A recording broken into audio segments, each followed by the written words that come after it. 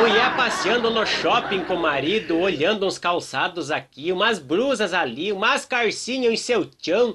Ah, fazia pouco, umas quatro, cinco horas só. De repente olhou, já não viu mais o marido do lado. Telefonou braba pra ele. Quando ele atendeu, já começou de grito. Sem vergonha, onde é que você tá? Me deixou aqui sozinha. Ele falou, amor, lembra daquele colar de brilhantes que você viu na joalheria que eu prometi de te comprar?